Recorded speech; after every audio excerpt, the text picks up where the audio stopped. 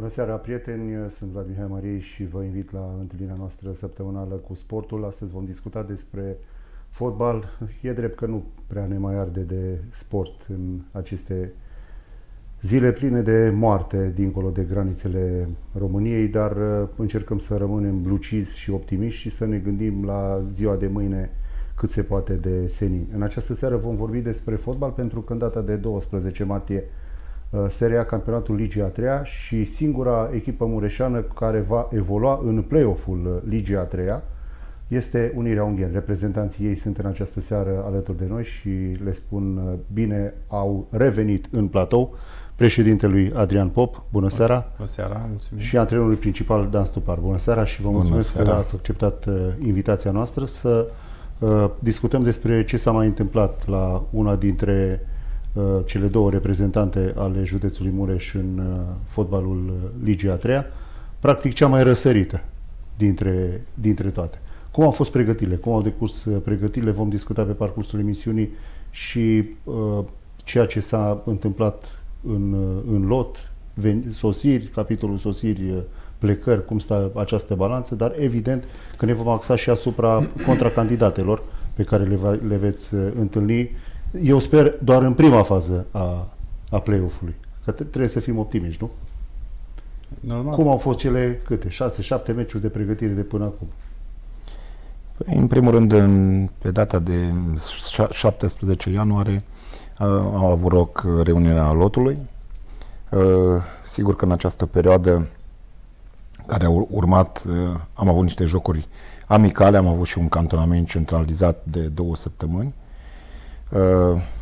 Sigur că meciurile și rezultatele din jocurile amicale au fost destul de pozitive, deși noi în această perioadă nu am urmărit în special uh, Uh, rezultatele, ci am urmărit uh, să parcurgem uh, etapizat foarte bine această perioadă ca să reușim pe, în momentul în care începe campionatul să ducem echipa la o formă sportivă cât, cât mai, mai bună.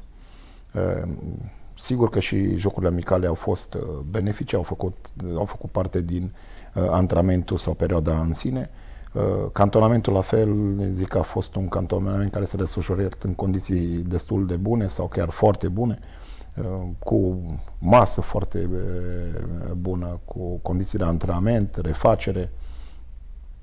Chiar la o masă, domnule Stopar, de la o masă atât de bună, sper că nu v-ați trezit cu jucători supraponderali. Nu, nu adică fo- foarte bună, dar controlată, oarecum controlată.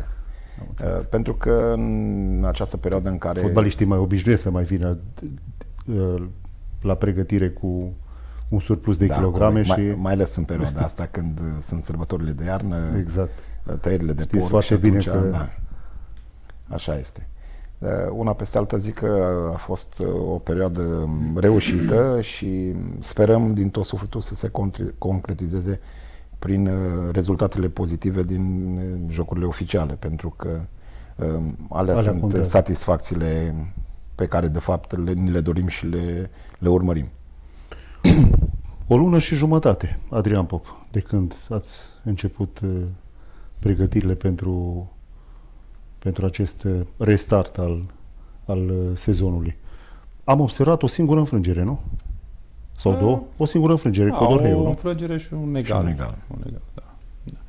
O perioadă... Nu contează, da. nu contează, nu contează, dar până la urmă victoriile, no, victoria aduc. Da, corect, Și corect. am în mai puțin, hai să zicem, acele scoruri 6 la 0, ceea ce ar trebui să le dea de gândit. Uh, scoruri uh, înregistrate uh, împotriva unor formații, una dintre ele care, din punctul meu de vedere, are cele mai mari șanse să Uh, reprezinte uh, județul Mureș în uh, play-off-ul pentru Liga 3 ACS Târgu Mureș 6 la 0 și Atletic 8 la 1. Ok, sunt meciuri cu, cu Liga 4 dar parcă totuși e cam mare diferența. Și voi și prinși la începutul pregătilor, bine, evident și ei. Da. Într-adevăr, e o diferență destul de mare între echipele de Liga 3 mă refer în partea superioară a clasamentului.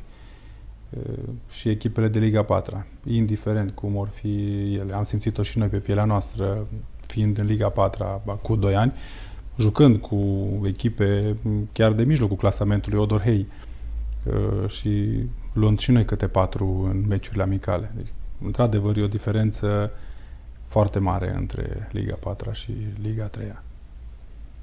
Uh, referitor la perioada de pregătire, da, o perioadă, spunem noi, benefică. Acum vedem, când o să înceapă meciurile de, pre, de, de campionat, cât de benefică și cât de Ceea eficientă. ce vreau să remarc, ați fost foarte darnici cu golurile.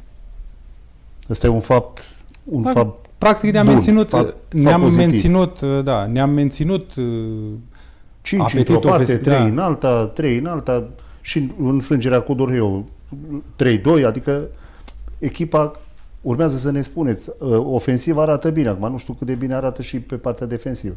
Pe partea defensivă, într-adevăr, am avut anumite probleme și, de, și numeric și, să spunem așa, valoric la ceea ce ne gândeam noi la început.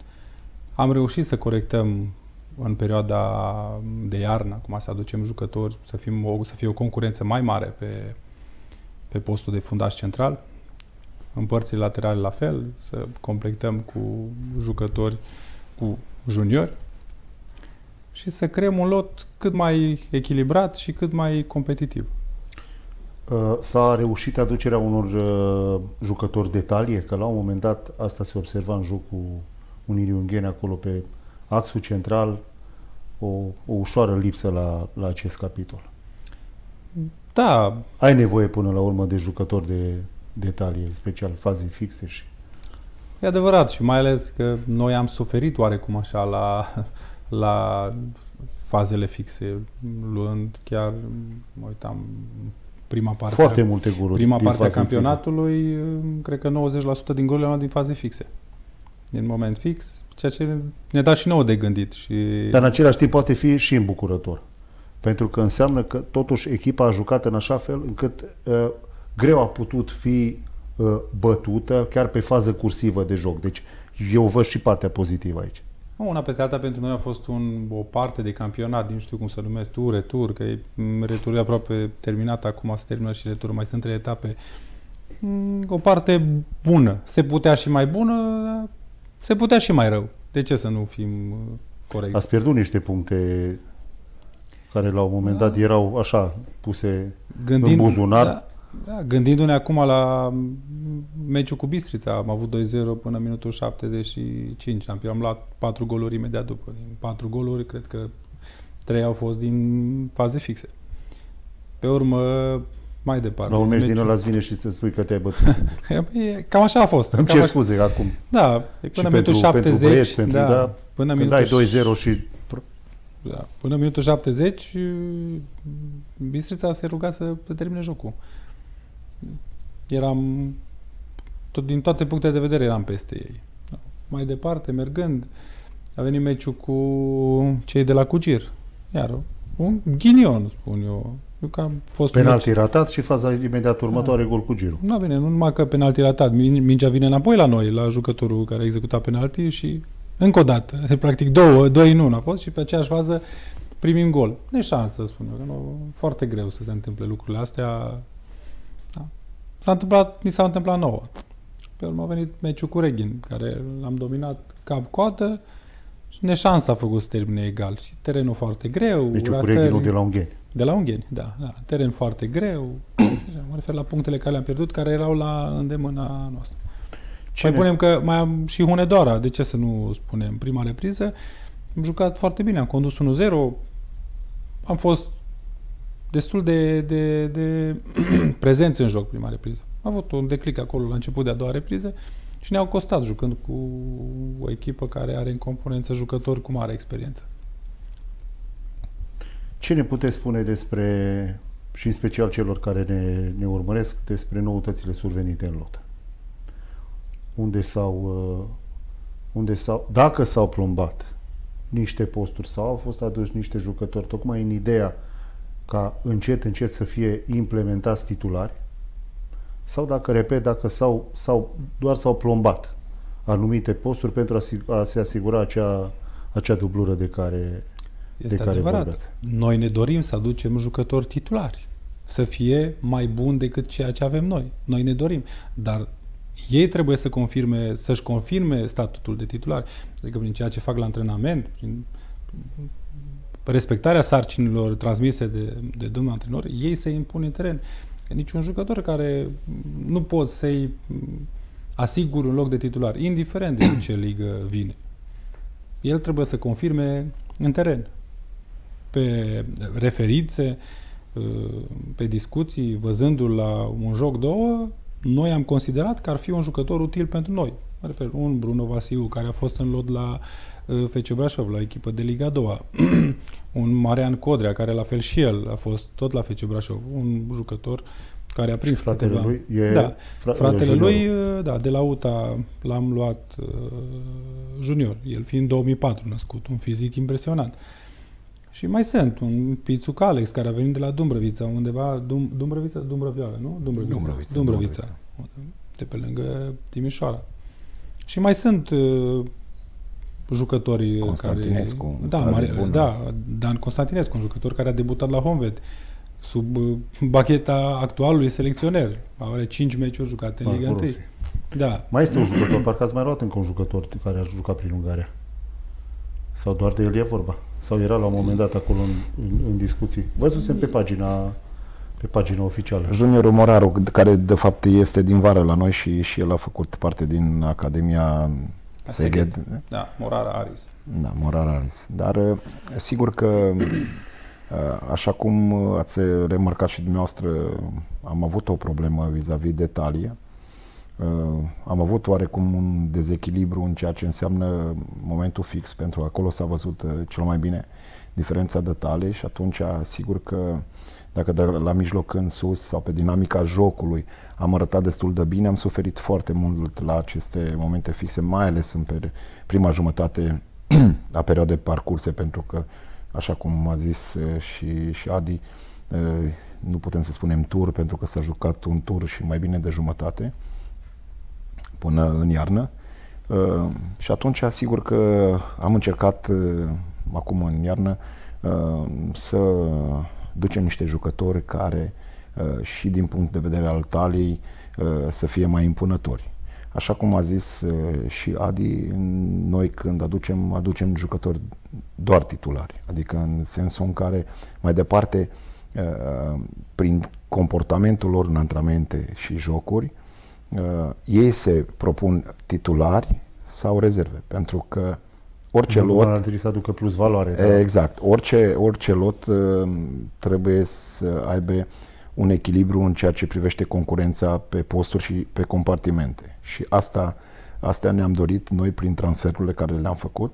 Uh, sigur că odată cu accederea în uh, play-off-ul acestei competiții, era clar că trebuie să avem mai mult echilibru și să asigurăm o concurență mai acerbă, uh, pentru că vor fi doar meciuri grele, având în vedere că joacă primele clasate între ele și clar că diferența este sensibil egal, cu probabil un, un oarecare avantaj în ceea ce privește echipa Corvinului, uh, dar în rest valorile sunt sensibil egale și atunci este evident că și meciurile sunt mult mai, mai, mai grele și sigur că ne dorim să reușim să facem o figură cât uh, mai frumoasă, uh, pentru că până la urmă urmei, în momentul în care am pornit la acest drum, asta ne-am dorit-o din prima secundă. Să dăm uh, satisfacție celor care uh, au crezut în noi, care au optat pentru a face parte din acest, acest proiect și atunci, sigur că doar rezultatele um, vin așa ca un cununare a eforturilor care uh, s-au făcut uh, să avem condițiile uh, propice. O să discutăm despre ce, despre ce înseamnă această parte secundă a campionatului după prima pauză de publicitate. Revenim.